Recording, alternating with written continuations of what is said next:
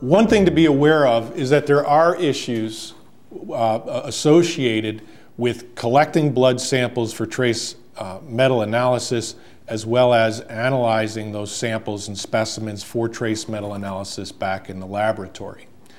It's called trace metal analysis, and the emphasis there is on the word trace.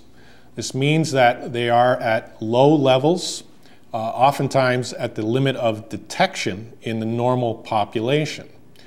Therefore, uh, the collection of that specimen is highly susceptible to environmental contamination.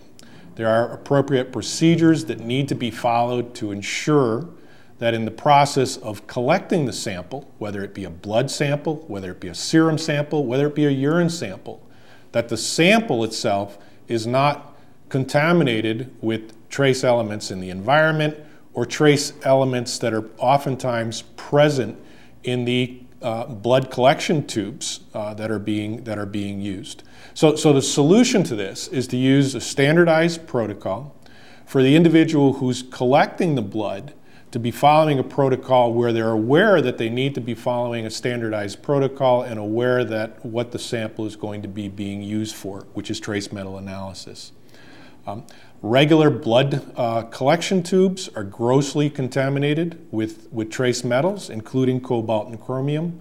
The stoppers that you know many of us are, are, are, aware of or having some experience when we go into labs to have our, our, our blood tested, the stoppers on the tops of those uh, vacutainer tubes to which the blood is drawn in, those contain pigments that contain uh, both cobalt and chromium.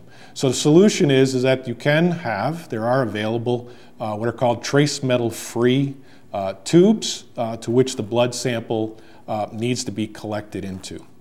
There are also steps and procedures that the phlebotomist, the person drawing the blood, ought to be following uh, when, when, when he or she is collecting the sample uh, from a patient uh, intent, where, where the intent is to analyze that sample for uh, cobalt and chromium. Now the same thing goes through to the integrity of that sample as it leaves, you know, after the patient gives the blood sample and that leaves the, uh, the doctor's office or the phlebotomist's office and goes on to the lab for, for testing. The testing has to be done in a lab that uh, has, has uh, uh, certified and has standardized protocols to, to measure low levels of these ions um, um, in, in their laboratory.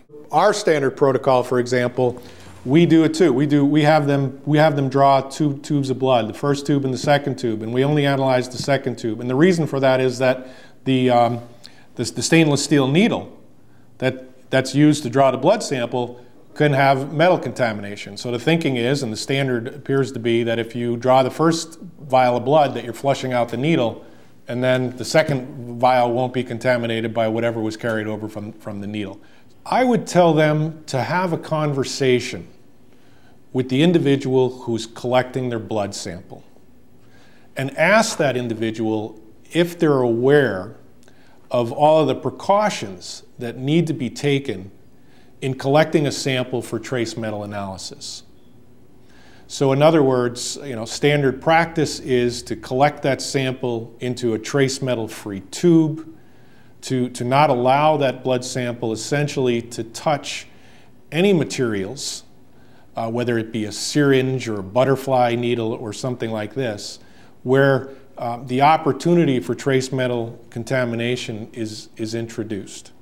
So there's a standardized protocol. It's not a typical blood draw. There's a standardized protocol that needs to be followed that takes precautions for uh, ensuring that environmental contamination does not occur uh, when the sample is being collected and then when it goes on to be analyzed at the laboratory.